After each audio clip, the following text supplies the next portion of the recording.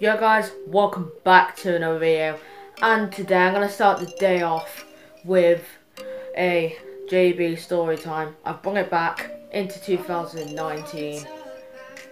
So if you, if you want me to do more of these JB story times then please leave a like and subscribe and I'll do more. But the first one um, is that I was, um, it's just happened on a Thursday. Um, we were doing PE and it was too cold to do to um, to go outside, so you had to go stay indoor. So we have three options to do multi gym, table tennis, or football. I chose football per usual, yeah. So in the first game, well, so my team were two Georges. Um, I've got um, me, Mo, and oh, I forgot the other one. But yeah. Um, so so yeah, we were thinking of who's going to go in net. I said I don't want to go in net because I'm not, because I'm really bad in net. And then this George, George Johnson, he's like, Hey, oh, what, what, um, position are you good in? If you're a better keeper. And like that, that, that like dropped my spirit a bit. Anyway, um, so then, um, the first game I started as a sub sub, which is just I wanted to do, right? Second game, um, I went in goal, not really much to do, and wait, when I was a sub, we conceded. Then when I was in goal, we didn't concede. And then third game, I went up front, and the ball passed to me by George Creel. He go, and then I go, I um, scoop turn, the ball passed out of one of my opponents, and then I then I shot outside the boot. It looks like it's going wide, just creeps in inside the goal into the side netting. It's a pretty good goal. And then one of my teachers, um, Mr. Wiles, was like, Josh, was that you who scored? And I was like, yeah. And I gave him a thumbs up. He was like, what a winner. So yeah, I was pretty happy with that goal. And then it was like the end of the lesson, and um, and yeah, um, yeah, um, the other team congratulated me over the goal, and yeah. So that's pretty much how I scored a pretty sick goal, to be honest. Now, this is story number two. Now, story number two, I was playing WWE 2K19. If any of you have heard this game, game, you know it's pretty epic, to be honest. It's pretty cool. Um, I was doing a career mode. I'm on chapter 12. Be careful what you wish for. Now, basically, it's one of these ma one of the matches was um, was um, set up by Triple H, aka Hunter, um, and he set me up in a three on one on three handicap match, me being the one person. So I got set up against the Bar and Samoa Joe. The Bar is Sheamus and Cesaro, and then Samoa Joe, yeah. So I got put in first with Samoa Joe, and then I started beating him up outside the ring. I just chopped him out, and then just started like punching, and then did a DDT on him, and yeah, and then brought him back in, and then and he reversed one of my moves, and um, he uh, tagged in Sheamus. Then Sheamus came in, and he um, and he started to like you know kick me and punch me and stuff. My character anyway. Okay, and then I got Sheamus to red health because that you go from green health to alt to yellow health, then to red health, and then once red health is gone, you have um, this orange health, which you could get back to red, but yeah.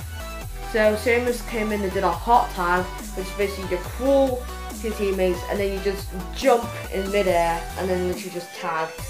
And then Cesaro came in and then um, then this is the funny thing, right? So I didn't mean to do do this right. So so I did a DDT again on Cesaro, and then this happened. So basically, I press. Okay, so there's this button on an Xbox One controller called Y, and Y controls signatures and finishes. So I had a signature right. Um, um, I think it's the sit out chicken wing face buster. I can show you a clip of it now because a lot of you might not know what it is. So here you go. Yeah.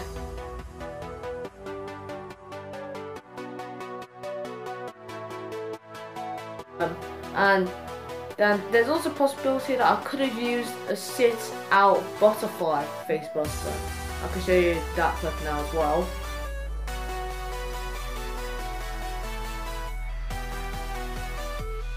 And then I just went into the into the pin and um I was in my one. And yeah. So so yeah, I won. I, I was wondering why like Sheamus and Samoa Joe didn't come in to like break the cover because uh, I thought because uh, I knew I finally realised that they didn't come in to support the cover because um, that it wasn't really a finisher because it because it's usually right? In the game when when when someone does a finisher and it's a tag team then the other tag team person comes in and breaks the cover.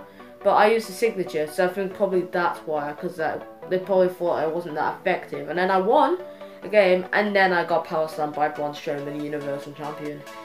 Well in the game anyway. He's not real life. Real champion is this guy. He's so lazy no offense but he's just so lazy. He doesn't even come onto Raw and well, he's a good champion, but like he just doesn't come out really. So technically, he's not the best. But uh, yeah, yeah. So pretty much, um, that is what happened. I can even show you my repertoire, and actually, like you know, it's basically like the set of moves, then superstar info that I have with my character. So I can show you that now. So, so here we have the Rainmaker DDT. This is my repertoire here. And the setup is standing front and pin combo.